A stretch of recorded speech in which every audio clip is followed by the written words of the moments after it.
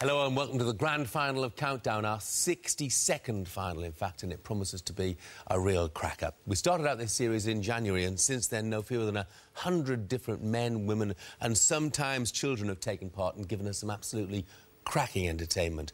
But now, we're down to the very best two. They'll be competing for the title of Countdown Champion, of course, as well as the prize of the complete Oxford English dictionaries worth around £4,000. So, without further ado, let's meet our two finalists. First of all, Nicki Sellars, who lives in Swindon where she's training to be a teacher. She's claimed a place in today's final after wreaking revenge on Lee Graham who she lost to in the heats. Nicki put up a consistently solid performance, though, this time round to see off Lee by 89 points to 51, which included the difficult conundrum inaugural. She's managed eight victories to date, has amassed 745 points along the way, and she is bidding to become the first female winner of Countdown for 12 years. I know that yesterday, Nicki, you said that Oliver was unbeatable, but from what we've seen of you, you must give yourself a chance. Well, I'm just going. To, I'm here to enjoy it, and um, I can't believe I'm here. So I shall just go through the surreal experience of today and see what happens. Your family been impressed with you so far? They have, yes. I would say they're very proud. So very lucky to have their support. Quite right too. Um, our number seven seed, but a finalist this season, Nicki Sellars.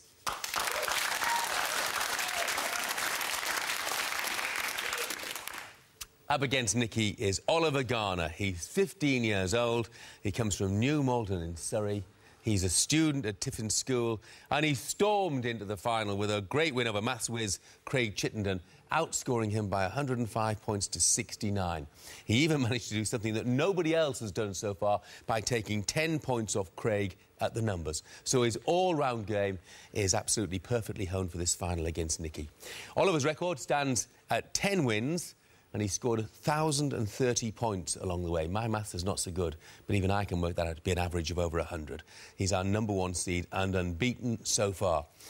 Well, Oliver, you saw Nicki play yesterday, obviously. Um, how tough a challenge do you think this will be? Yeah, she's very good. I think it'll be a tough game. It'll be close, and I'm, I'm excited but nervous. OK, well, the very best of luck to you. Our number one seed, Oliver Garner.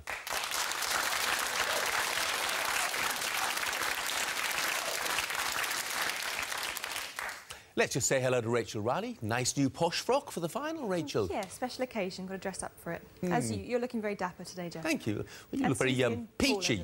Thank you. Yeah, yes. Matching Nicki. Yes. And in, in Dictionary Corner, of course, we've got Susie Dent and uh, the magical Paul Zenon. Looking forward to this, fellas? Very much so. Mm. Yeah, yeah, it's been a good week. Yeah, it has been a good week. Let's hope the final is magical too. I'm sure it will be. Here's our first round. Nicki, it's your first pick of the letters. OK, I'll start with a consonant, please, Rachel. Thank you. Very good luck. The first letter, M. And another. S. And another.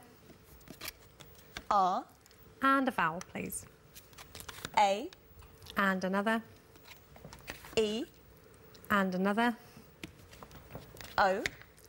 And a consonant, please. X.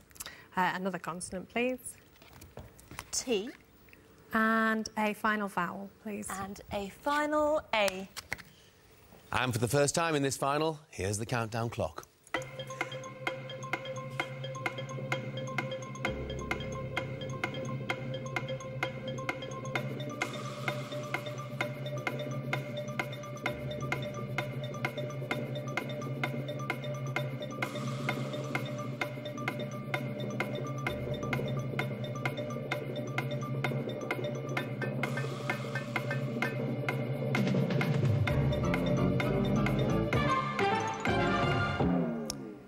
Oliver, what have Seven. you got? Seven. And Nicki? Just a six. OK, what's your six, Nicki? Master. And your seven, Oliver? Maestro. yeah, excellent. Well done.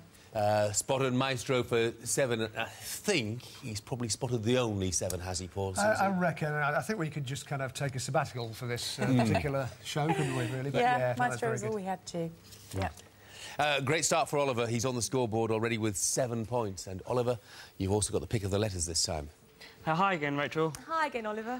Can I start with the vowel, please? You can, thank you. Starts with O. And another? E. A third? O. A consonant. P, And another. T, A third. S, A fourth. G, Uh, consonant. B, And a final consonant, please. and a final R. Here's the countdown clock.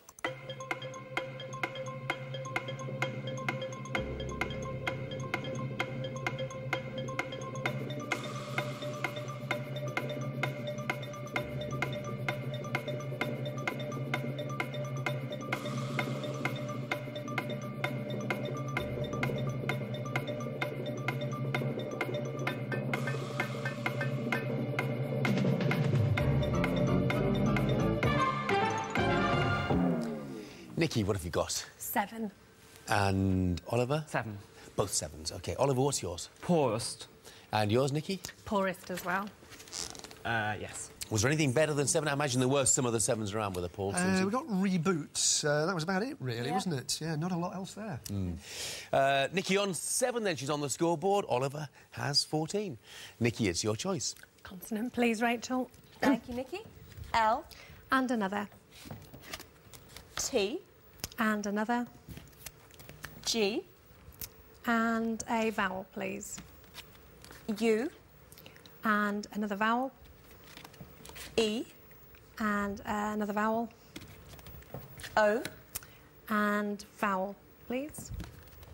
U, OK, go back to consonants, please. R, And a final consonant, please. and a final T. And your 30 seconds starts now.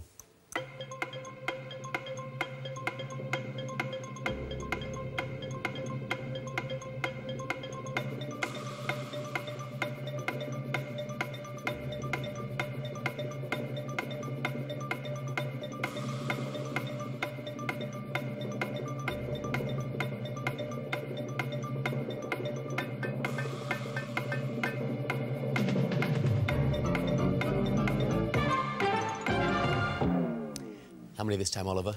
Uh, six. And Nicki? Six. OK, what's yours, Nicki? Outlet. And Oliver? Gutter. Outlet and gutter. Both fine for six, aren't they? Yes. What else? Was there anything more than six? No, I don't think so. Uh, uh, another uh, six with turtle.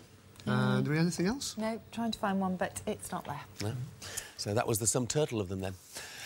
Uh, Nicki has 13. Oliver has 20. Moving swiftly along to our next round. Oliver, it's your pick. Consonant, please, Rachel. Thank you, Oliver. M, And another. C, And a vowel. I, And again. O, And third.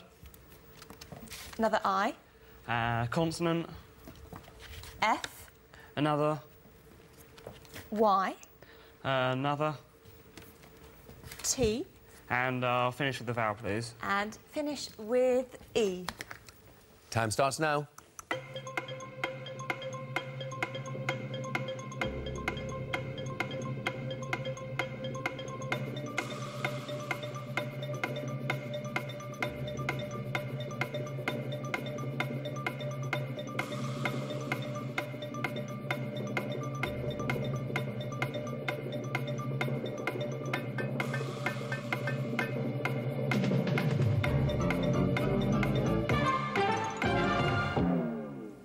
Nicki. Just a five. Oliver? I think a six. OK. What's the five, Nicki? Motif. And the six, Oliver? Moiety. Yes. Yeah, absolutely right. It's um, to do with moitié, the French half share or something. It's very good. Excellent. Yeah. Hmm. Didn't think there were too many sixes hidden away there. Wa- wa- Was there anything else, Paul? Susie? Uh, no, we got um, comity and comfit, which Yes. both sound like you're pronouncing them wrong, really. Yeah, Comity is an association of nations for their mutual benefit. Uh, and Comfit, I know from uh, licorice comfits, the little sweets, sugar-coated sweets that you can... Still um, F-I-T. Yeah. OK. Uh, early advantage to Oliver. He's on 26. Nicki has 13. Here's the first numbers round of the contest, though, and Nicki, is you to pick them. Uh, just one from the top, please, Rachel. One from the top, thank you, Nicki. And five smorfs, two very good numbers contestants. So this round, the numbers are 8, 1, 3, 9, 7, and 25. And the target to reach 642. 30 seconds to reach 642.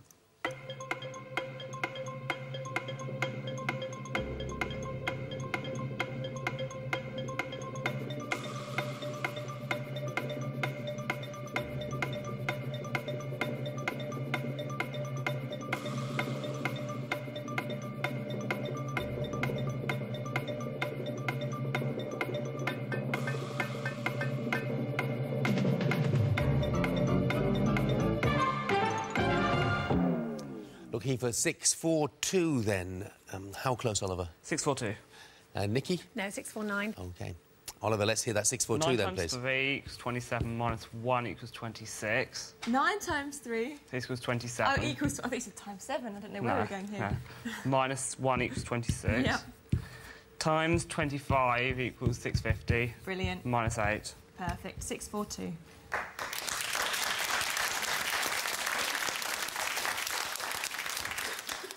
Yeah, well done, Oliver. Nicki's on 13. Oliver has raced on to 36. Time to take a little break from the action. We always have great fun when Paul Zenon's a guest on Countdown. This week's been no exception. Into the last day of your stay, though, Paul. What have you got for us today? Well, something special. I've always been interested in kind of like uh, freak shows and side shows and things. And I started collecting curios, and uh, it kind of crosses over with Susie's kind of word uh, sort of explanations and history. Because you've heard the expression uh, "the worm that turned," right?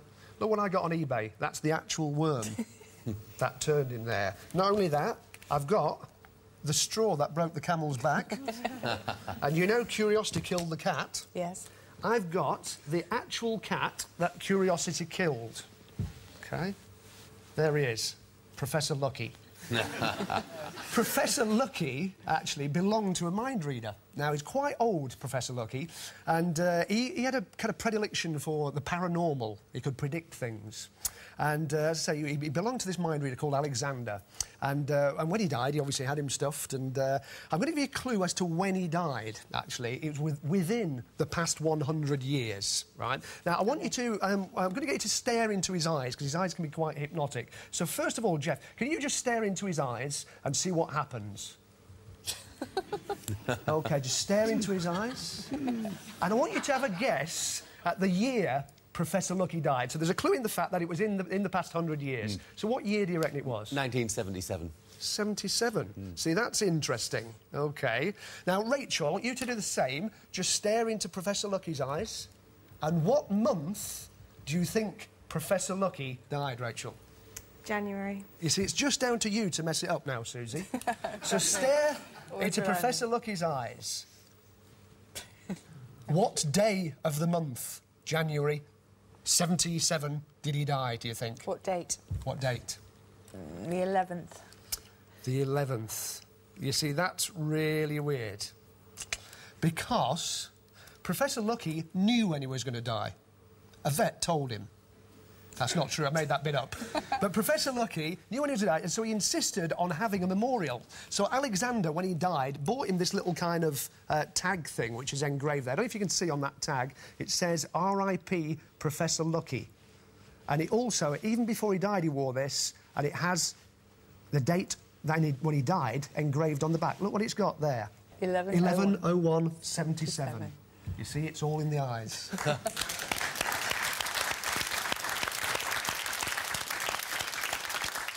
Fantastic. Nicki on 13 then, Oliver on 36. He has the early advantage in our Series 62 final. Here's a teaser for you.